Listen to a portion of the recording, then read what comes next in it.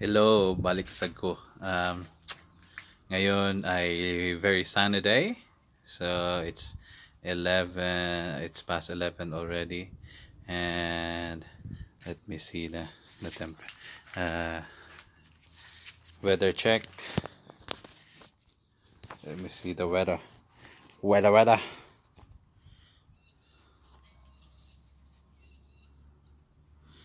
Weather today is sunny in Goulburn, uh, 11 a.m. 17 degrees Celsius, uh, papunta sa 18 degrees later hanggang 3 p.m. Tapos pababa siya ng 12 at 6 and 10 degrees. Uh, uh, bababa pa ng 8 degrees until uh, 11 11 p.m.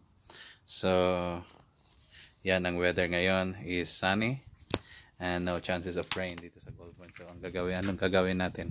But before that again, uh, I would like to invite you to like and subscribe the this video. No.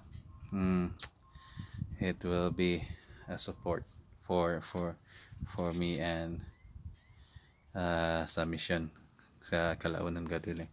So tapos na yung clergy conference namin uh, maglilinis na ako ng chapel ngayon kasi hindi pa ako nakalinis ng chapel. Kasi uh, tapos ko na nalinis ang cool room. Uh, bigay ko na yung mga pagkain sa doon sa manok. Tapos ano pang gagawin natin? Oh nga mag vacuum sa chapel. Then uh, mag vacuum pa sa sa kuan Saint uh, dalawang building Saint Joseph sa itaas at saka sa Bridget kasi may mga konti-konting uh, dumi. So yeah, yan maglilinis tayo. Yun maingay si ano si si Bridget, ah si Bridget, si Kuan Lacey. And ito naman si Ben.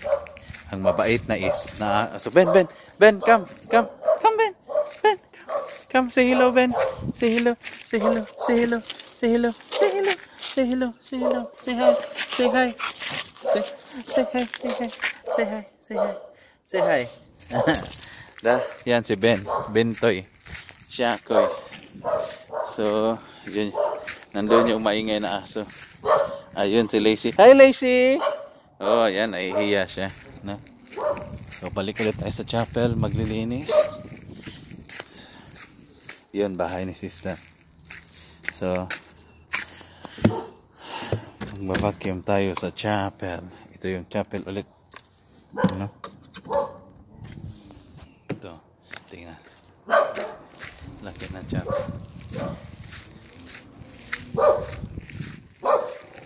Ayan yung chapel. Yan yung chapel. Ayan si Ben. Yan si Ben. Hi Ben ah, so yan yung chapel. Yan yung uh, vacuumin natin. Yung maingay si Lacey. Si Lace Lace maingay masyado. So kuha tayo ng vacuum para maglinis ulit. Ito na yung ito yung vacuum. Iba kulay. That yung isa pero sabi ng isa ni Dylan uh, mas malakas na to sumisip masipsip to na ano masipsip na vacuum. Sipsip masyado. Tapos natin ready? Para. Huh. so this is the chapel. Yan chapel. I maglight muna tayo ng candle para maganda yung paglilinis natin Lord of mercy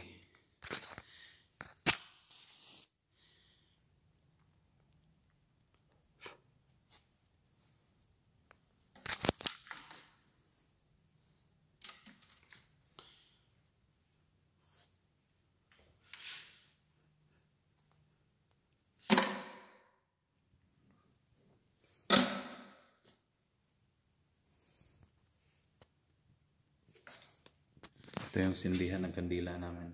See? Yan mga gandas. light another candles another candle.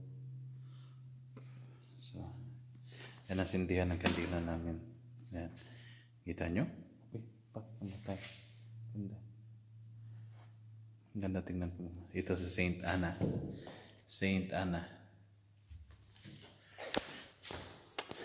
tapos parents ni Mama Mary si si Saint Joachim and Anna.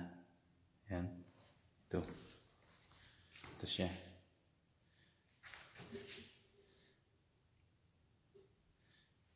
Saint Joachim and Anna. Ayan siya. So yes. Mag-start na ako ng cleaning kasi pagkatapos nito kakain tayo for lunch para mag-lunch ayan nag-ingay na naman si ano nag-ingay na naman si Lacey Lace Lace Hey Lace, wa kang magawa Les? Ay, ay. Yes. Oh, uh, sa sunod na video ulit. Thank you for watching dito sa um,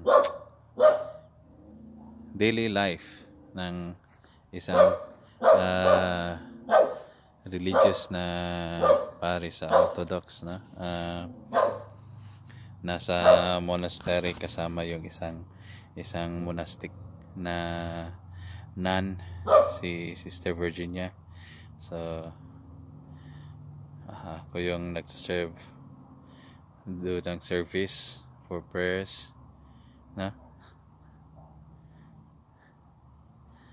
so ayan nagtaka si Lace Lace Lace Lace ayan Ewan ko kung makikita nyo, hindi ata malayo masyado. Malayo. Oh, maganda yung sky ngayon, see? Beautiful sky. Yan ang ano Lebanese cedar, 100 years na. Yan. 100 years na yan. Uh, kasi witness siya sa pagtayo ng o development ng property na to. Lebanese cedar. Uh, so yeah thank you thank you for watching and please do like and subscribe bye bye